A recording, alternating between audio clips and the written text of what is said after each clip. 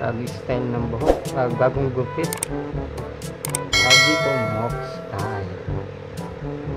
Ah, sa mga nagtatanong about dito, ba't ako gumawa ng video na ganito? Dahil sa, wala lang, gusto ko lang, um, gusto ko lang may ibahagi or dito, ah, may dokumentaryo lahat na nangyayari sa buhay ko at bilang ano, pang alaala sa mga nagawa ko sa buhay. Then, ito ay ginawa ko para lang sa, ayun nga, para sa alaala. Para may, meron akong mabalikan. Gusto kong i-review or gusto kong ma, ano, maala, ma, maalaala sa darating mga panahon na darating pa or in the future kaya ako gumawa ng ganitong video.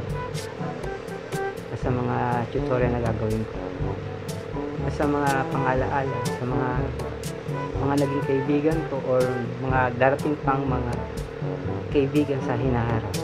And then syempre maganda pa rin yung may na meron tayong mga memories na makabalikan sa paggawa ko ng gawa paggawa ko ng mga ganitong video lang kaya ako gumawa ng isang channel sa memories nga dahil nga doon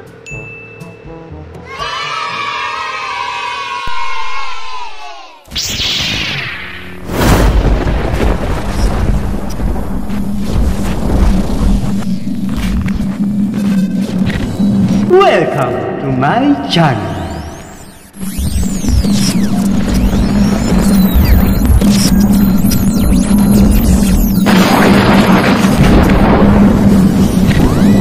de nele.